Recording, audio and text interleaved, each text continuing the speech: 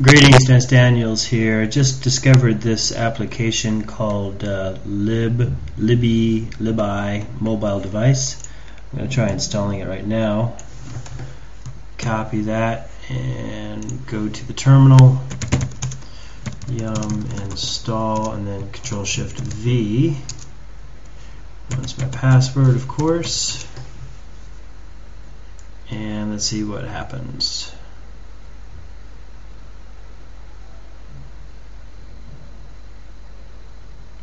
Tick-tock. I hope that means it's working.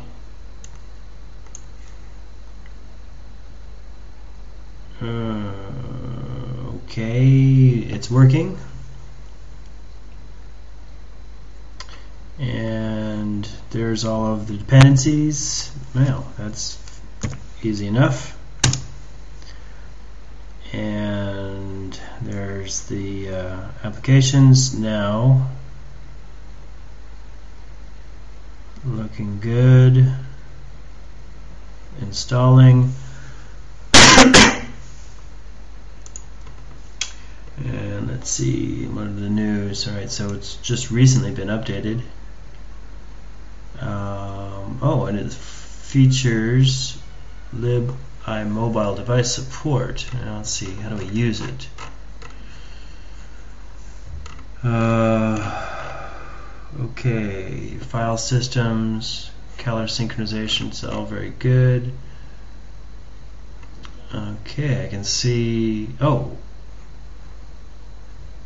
I need to see it. Alright, so I think it's done. Let's go to the desktop and see what is there. The iPhone usually shows up, but only as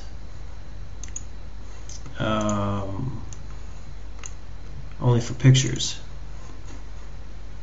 Yeah, it's pulling up the pictures. Huh. And that's not right this one, okay, that one has 246. I don't know why all these empty folders are there, but um, it's only pulling up pictures. Why? Okay, I'll check the web for more details on um, the 3G Lib iMobile device. Thank you.